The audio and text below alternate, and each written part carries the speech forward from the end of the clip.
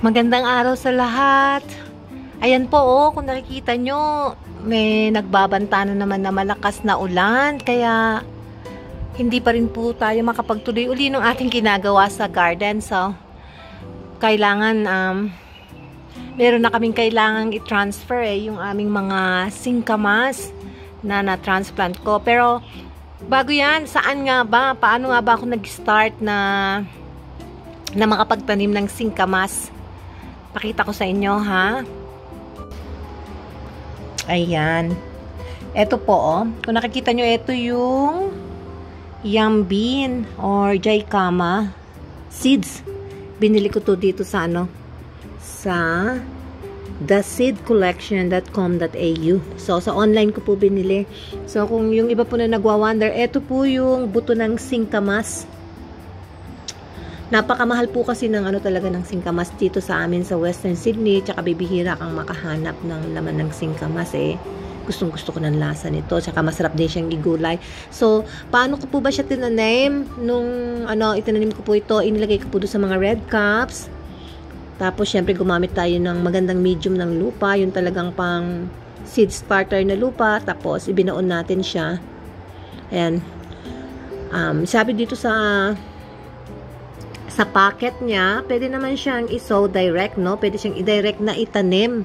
Pero, dahil nga po katatapos lang nung summer, nung tanim ko ito, eh, excited ako malaman kung talaga tutubo ba, no?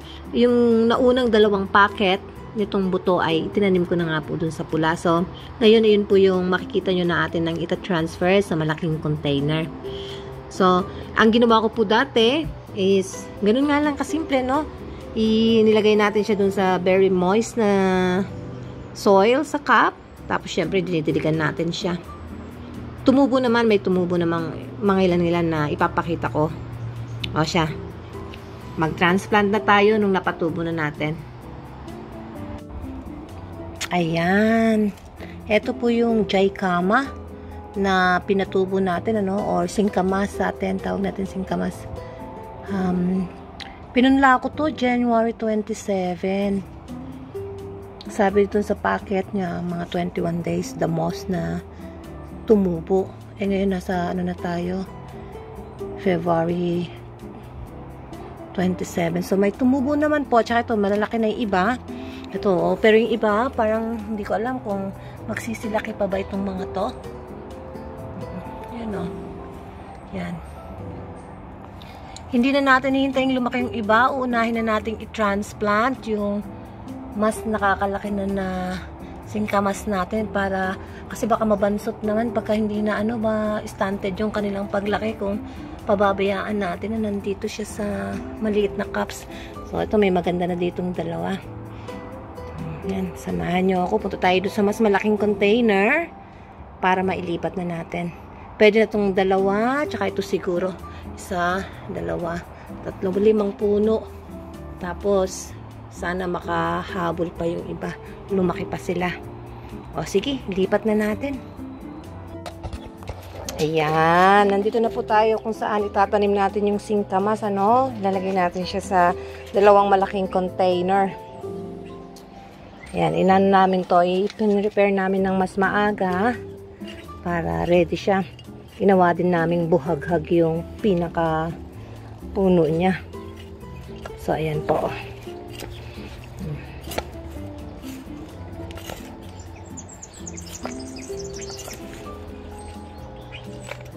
Yan. Yung mga singkamas naman, generally, hindi siya katulad ng kamote na pagka naglaman, malalim na malalim, medyo mababaw lang. Pero, dinamihan pa rin po namin yung lupa kasi para maka makagawa siya, like magkaroon siya ng malalaki, magagandang bunga sa ilalim, ay laman sa ilalim kasi minsan umaabot ng isang kilo ang isang laman nito sa ilalim. So, sabi mga 8 months to a year pwede mong hintayin o kapag ka naman tinamaan na ng taglamig uh, mamamatay na yung halaman, yung pinakadahon niya eh pwede mo nang tignan kung mayroon siyang magiging laman. So, kaya ito i-transfer na natin transfer na po natin tong ating yan, teka so magalaw na naman ang ating camera Madali lang naman. Isasama ko na yung buong pinakabuong ano. Yan. Tapos yung isa pa. Ayan. Natapos ko na i-transplant yung mga singkamas natin. So, hindi naman natin siya masyadong nagalaw kasi diretso nga from the red cup. Dito natin nilagay.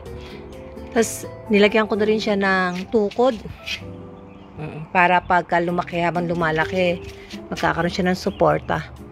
I, ano natin siya na mag ano, tutulu tutulungan natin siyang umikot dyan sa kahoy na yan. Ito yung isa oh. Okay. Yan. So, babalikan natin to ng pagkalipas ng dalawang araw kasi para masigurado lang na tumubo talaga siya, hindi siya naapektuhan ng ating pagta-transfer. So, sana wag siyang magtampo at dire-diretso yung pagtubo nyo.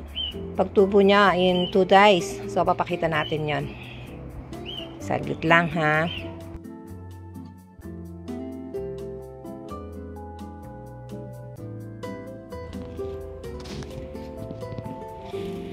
Ayan. Kumusta na kayo? Ay, ang ganda na ng tubo nila, oh. Oh, ayan, oh. Ito, five days after na tinransplant natin yung ating singkamas. Ayan. Ganda. So, sana magpatuloy kayo sa paglago, ha? So, sana mabigyan nyo kami ng magandang bunga. Magandang laman sa loob. So, ayan po. Madali lang po yung ano, yung naging proseso. Mabait naman yung mga buto na tumubo ng maayos nung ating sila'y pinunla.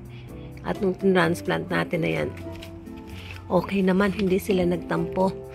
So, meron tayong limang puno ng singkamas na palalakihin hanggang bago mag winter. So, sana hindi sila masira ng winter, ano? Para malaman natin kung talagang maglalaman sila. So, hanggang sa muli, guys. Salamat sa panunood. Um, stay safe, stay healthy, stay happy, at salamat sa Diyos sa isa na namang araw. Bye for now!